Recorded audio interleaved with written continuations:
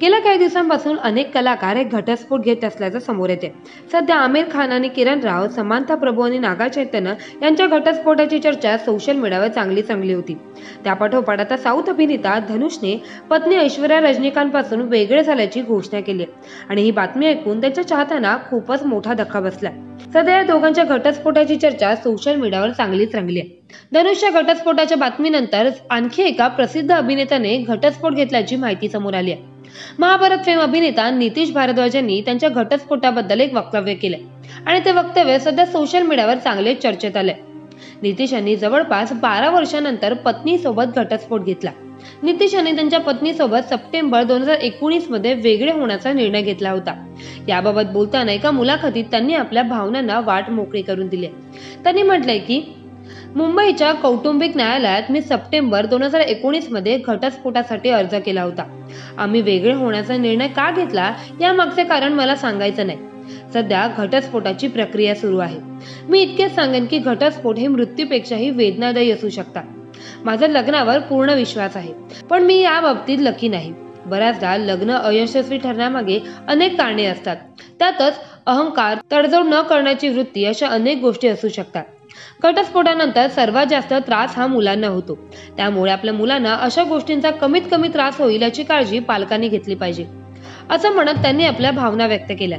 ये बहुत आवश्यक है कि हम अपने इर्द गिर्द में अशांति को ना फैलाएं क्योंकि अशांति से अन्याय की भावना निर्माण होती है अशांति में अन्याय होता ही है। जितने लोग अशांत हैं, वो जो काम कर रहे हैं, वो अन्याय कर रहे हैं।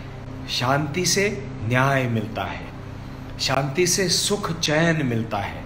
इसलिए वो शांति सबसे पहले एक तृप्त आत्मा को ही मिल सकती है। इसलिए हमको अपने लिए सोचने का भी हमारा एक दायित्व बनता है। वो हमारा अधिकार है, अपना कर्तव्य है और अपना एक तरह से हम कहें कि इसमें गलत कुछ नहीं है। नितीश यांच्या वैयक्तिक आयुष्याबद्दल बोलायचं झालं तर नितीश यांची दोन लग्न झाले.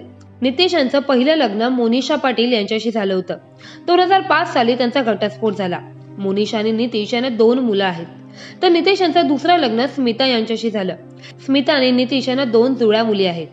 तर मग तुम्हाला नितीश यांच्या या वक्तव्याबद्दल काय वाटतं हे आम्हाला कमेंट बॉक्समध्ये नक्की कळवा. याशिवाय हा व्हिडिओ आवडला असेल तर लाईक करा आणि आमच्या लोकमत फ़िल्म चॅनलला सबस्क्राईब करा. बेल आयकन सुद्धा क्लिक करा, म्हणजे आमच्या नवीन व्हिडिओचे नोटिफिकेशन तुम्हाला नक्की मिळेल. हम अपने माता पिता के लिए सोचते हैं, सही करते हैं। हम अपने परिवार के लिए सोचते हैं, सही करते हैं। अपने लिए भी तो सोचना चाहिए ना? क्योंकि ये मन, ये चित्त जब भीतर से सारे रसों का पान करके शांत होगा। जब उसको लगेगा हाँ मैंने अपने जीवन के साथ कुछ अच्छा किया, ये जब लगेगा तो मन और दिमाग में शांति आएगी।